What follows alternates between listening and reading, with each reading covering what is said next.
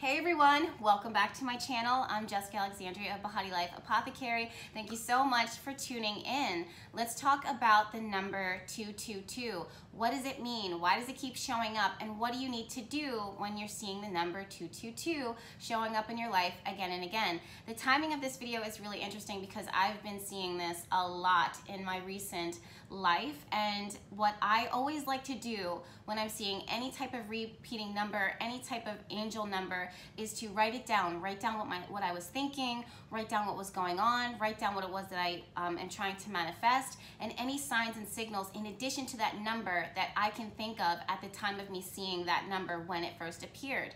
Now, before I dive into what this number had, what this number means, I really want to tell you guys that this is what this number means for me. This is my own experiences as far as what has happened and what has occurred in my life when I kept seeing the number 20, 222 or 22 and or a variation of the, the number 22 in some type of way.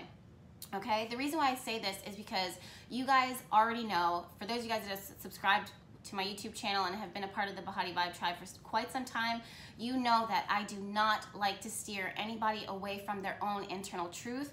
And I don't want to speak for your personal, I don't want to speak for, pardon me, I don't want to speak for your angels or your guides or on behalf of God for things that I think that you should definitely reach out to them and ask them, what does it mean for me personally when this shows up? So it's really important. I do want to put out this disclaimer that it's very important that you guys understand that this is something that is has made itself known to me. This is my truth, and this is what I've noticed again and again when this number appears for me. Okay. Now that I said this disclaimer, now that I said that that disclaimer, it's time for me to talk about exactly what the number 222 means and what has been going on in my life when I see it. So the number 22, well the number, let me start by saying this. The number two is a number of duality. It's a, a number of partnership. It's two separate things, two totally opposing things, somehow, some way, being magnetized and coming together we talk about this and we see this a lot in the tarot cards, and I talk about this a lot in the Sacred Circle Tarot School, the number and the power of the number 22. It's these opposing forces. The number two, when you look at it within the major arcana, it connects to the high priestess. And she works with these opposing forces. She's working with the black and the white, the shadow and the light. So in your own life, when the number two appears, or 222 appears, or 2222, when it appears, it's because you are actually coming together with something that is your opposite or something that you are trying to attract within your life. Now, the number before 22 or 222 or 2222, and me saying this again and again is going to be so exhausting by the by the end of this video, but it is what it is. But when you, the number before that is the number one. So that's when we start seeing 1111 or, you know, 11, 11, 11, 11, you know, just like 111, right? And pretty much what happens at that point is you are literally creating something. Within that thought, within your life, you have plant you are planting a seed. Well, now that you're seeing the number 222, that seed, that intention is now attracting. It is now calling out. It is now pulling out. So when you are seeing the number 222 or some type of variation of the, that number, basically what the, the, your angels are telling you and what your guides are telling you, what they're suggesting, or at least this is what they do for me, is look, what you have put out is now, it's, it's coming in. It may not have manifested yet. It, you may not have seen it yet, but it is coming in at that point, what you need to do when you see this number is you need to check yourself. You need to check your energy. You need to check your thoughts. You need to check your thinking, just as you did with the intention with when you see the number 11.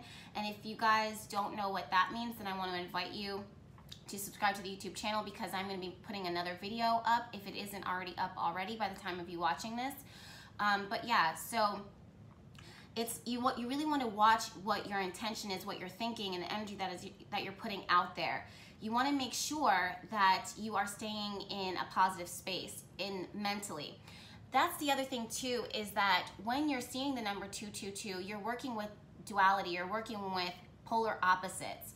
So it's really important that you master the idea of positive energy and negative energy. And that's something that in the spiritual community, a lot of people have a hard time with because they wonder, okay, I have to have positive thinking, so Jess, why are you telling me to have negative thinking? When I'm working and I'm talking about positive and negative thinking, I'm not saying negative thoughts or thoughts that are bad or destructive. I'm saying to be in a, a position of receiving. Okay, now with that, I have to take a step back and remind you, or at least tell you, that the number two is very feminine. It's all about receiving, which is actually a negative energy in the eyes of the universe, in the eyes of the cosmos. Feminine energy receives, negative energy receives, masculine gives, masculine does, masculine um, comes in and dominates. It, it wants to do. When you are working with the number two, um, two so 222 or 2222, it's all about being in a space of quiet, receiving, and observing. That way you can actually attract. So in that moment, whatever it is that you set the intention for, the, whatever it is that you're putting out into the universe that is that you want to receive, give it positive affirmations. I am this. I am abundant. I am blessed. I am receiving this right now, whatever that is. Or I am being guided. I am aligned, whatever it is.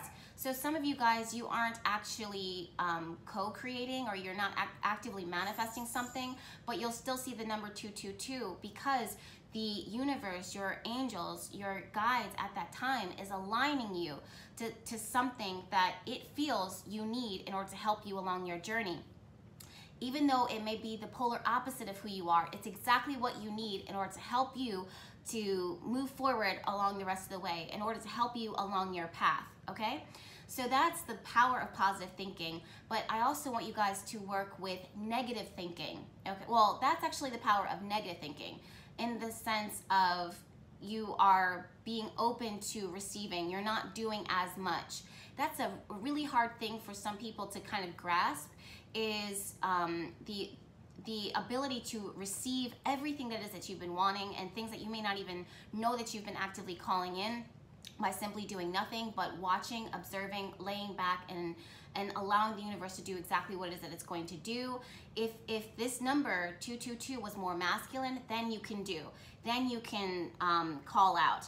But when you see the number 222, because it's negative, it's a negative energy, meaning that it's all about receiving, it's all about falling back and observing a little bit more, then that's exactly what it is that you need to, um, that energy that you need to match, okay? So that's one thing that I wanted to say with this is, and also balance. So this is the, the part where positive thinking comes through, is that if you are in a negative mindset, meaning like, and I'm gonna use the, the term negative in the way that it feels destructive, it's bringing your energy down, you, you want to call in something that is opposite, but is also the same strength as you. Now I know that this is kind of a lot and I'm I'm not taking notes. I'm flowing from my intuition right now and I'm flowing, you know, with like organically. So it's I'm trying to like check myself and how I say everything. But there is a point where you want to stay positive, right? You want to keep your your thoughts and in a high vibration, but you're also attracting the polar opposite of what you are. Meaning that it is let's say if you're feminine energy you might be attracting in that in that moment when you see 222 masculine energy. But the strength of those things need to be the same in order for them to attract in order for them to magnetize. So for example let's say you're feminine energy or you're in a position whether you're male or female or however you identify you're in a feminine space of I'm I'm receiving help, I'm receiving abundance, I'm you know pulling in into my life, and I'm not going to lift a finger. It's just going to be something that I receive right now. I don't have to actively pull in. I don't have to drag it into my life. It's just approaching. It's just appearing. So you are. That's what it is that you're pulling, putting out into the universe. So masculine two two two. The opposite of that, masculine energy comes in and says, okay, someone needs me so I'm gonna show up to save the day. I'm gonna do what I have to do in order to, to give to them, in order to pour into them. because that's masculine energy. But they need to be equally strong. They need to be almost equally yoked, if that makes any sense, okay? So when I say that you're pulling, you're attracting the opposite, don't get in your human brain and think that if you are weak, that you are like mentally weak, emotionally weak, spiritually weak, that you're to attract someone spiritually strong who's to pull you up. That's not how polar opposites work. It's all about working with the opposite energy, meaning is it dark, is it light? Is it high? Um, is it high? Is it low? Is it black? Is it white? That type of energy. It's and those things they're polar opposite, but they match in their strength. They match in their their energy, so that when they appear into their life, you don't have one person dragging the other up, or you don't have one person pulling the other person down. Do you know what I mean?